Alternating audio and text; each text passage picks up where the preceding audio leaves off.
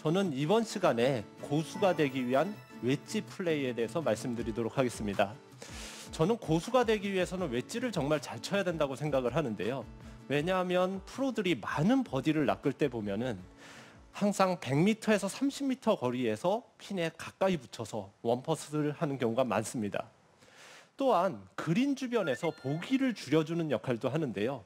30m 이내의 거리에서 야 저건 보기다 라고 생각되는 것들을 기가 막히게 세이브해서 보기를 안 치고 넘어가는 것을 보실 수 있을 겁니다.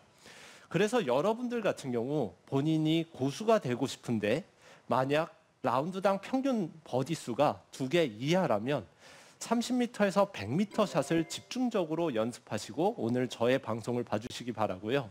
그리고 30m 이내의 거리에서 어, 보기가 다섯 개 이상 나오신다 하면은 그 거리를 집중적으로 해서 칩샷을 얼마나 세이브를 잘하는지를 여러분들께서 집중적으로 봐주시기 바랍니다. 우선 제가 저의 자세를 보여드리기 전에 오늘의 키포인트 세 가지를 제가 먼저 정리해드리고 시작하도록 하겠습니다.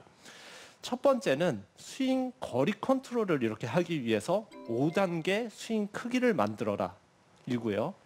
두 번째는 바로 정확한 컨택을 위해서 하향 타격을 하라입니다. 마지막으로 세 번째는 공이 떨어질 때까지 끝까지 자세 유지를 하라인데요.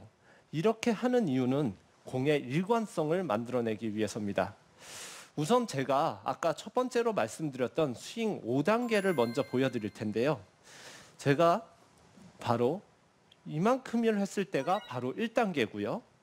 2단계는 클럽이 지면과 수평이 되는 네, 위치고요. 3단계는 이만큼, 4단계는 바로 클럽이 지면과 수직이 되는 위치고요. 5단계는 바로 이만큼입니다.